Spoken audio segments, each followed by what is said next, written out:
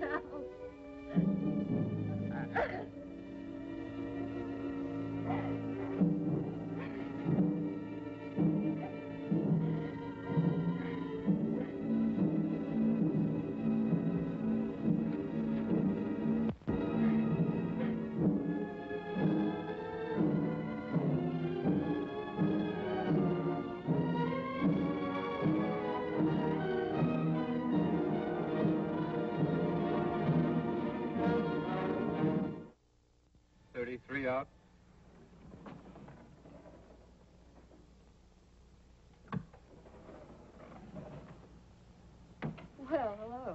Christa. How is Paris?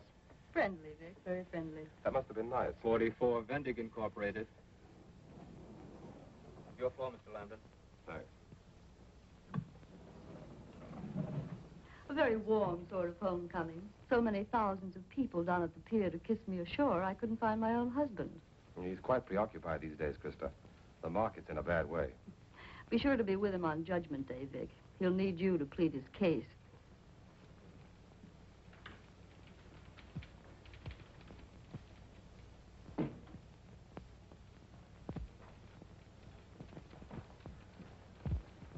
Fine to see you back, Mr. Lambdin. We missed you. Thanks. It's fine to be welcome.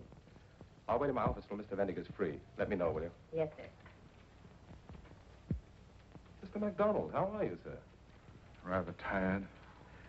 Are you in town for another flying visit, Mr. Lambdin? Yes, I got in late last night. I'm going to pull out again after I've had a few talks with Horace. I've spoken to him on the phone, but I haven't seen the old pirate in months. How is he? A pirate? I'm very serious, Mr. Lambdin. I've been sitting here for four days waiting to see him. I think your partner is making me walk the plank. Four days? And for ten days prior to that, I called him repeatedly. He was either out or too busy to speak to me. Oh, there must be some mistake. Are you aware this is Mr. MacDonald of Montgomery Trust? Why wasn't he shown into Mr. Vendig? I'm sorry, Mr. Lambdin. Mr. Vendig is extremely busy. He gave strict orders that... What's your trouble? What do you want to see him about? My bank needs a loan. Five million, or our depositors are wiped out. That bad? It's very simple. Too much of our resources were Dorchester stock, sold to us before this panic, as part of Vendig's carefully prepared short-selling campaign. But he wouldn't do that, not to you. We can't even discuss that point. He's already done it. That's all my fault. I'm personally responsible for what's happened to us. I allowed my friendship toward him to blind me to his peculiar ethical code. Well, he'll see you now, or you're going to witness a head-on collision. Tell Mr. Vendig I've arrived. Yes? Mr. Lambdin has arrived, sir. He wants to see you. Just a moment. Do you wish to carry this on in Vic's presence, or would you rather keep it private? Tell him to come in in just about half a minute. Yes, sir. You've already told this to Vic. I could see it in his face. As a matter of fact, I haven't told him a word. Now, let's see. Where were we? Oh, yes. You were in Paris. That boy in Paris was nothing but a protege. He paints divinely. I thought of a very pretty speech of your own in which you said people with no creative talent ought to help those who have it.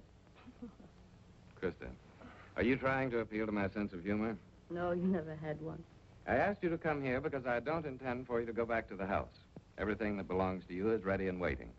As soon as you've checked into a hotel, let me know, and I'll tell my lawyers where they may serve you. And with that, may I consider myself dismissed? If you care to put it that way. Oh, And without even the customary two weeks' notice. Don't try sarcasm on me, Christa. I might pull out your Paris record. How did you expect me to behave? Like a woman who had a husband she loved and respected?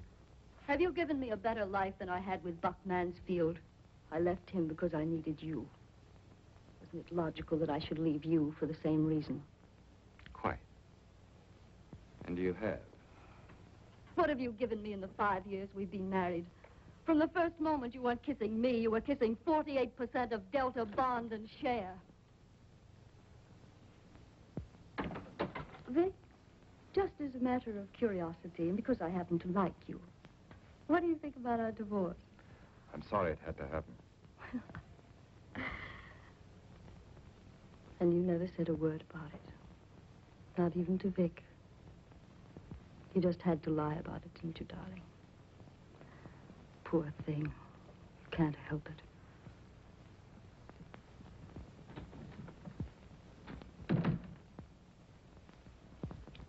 What was the idea? Why tell her how many people know the story? Yes, I suppose you're right. But if she trapped me so easily, I feel like a fool. Was it very unpleasant? Naturally. Don't you think I have any feelings? I often wonder. Hoss, since when does MacDonald have to wait outside for four days? MacDonald. Now, wait a minute.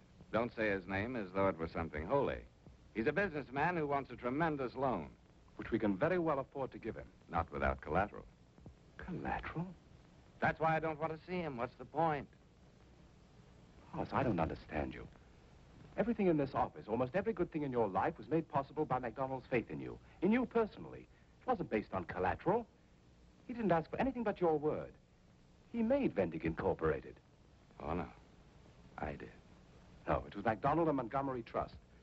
You went to him for help a dozen times, and each time he gave it to you freely, without question, without collateral. Now he's come to you. Vic, why don't you stick to building bridges? The man wants $5 million. Very well secured. His bank is basically sound unless he goes under. If he does, you'll take with him every small depositor on their books. Hoss, I don't know what you've got against him, but think of those people. I will when I retire. In the meantime, I'm thinking only of myself. All right. I won't talk to you as a friend, but as a partner. A silent one, Vic. Hoss, don't joke while MacDonald is suffering out there. It's vicious. What are you made of, anyway? I'm an adding machine. And as a result, you're so rich you can afford a conscience. Well, I'm not that rich. I still need a lot more. My job is to protect my interests and yours.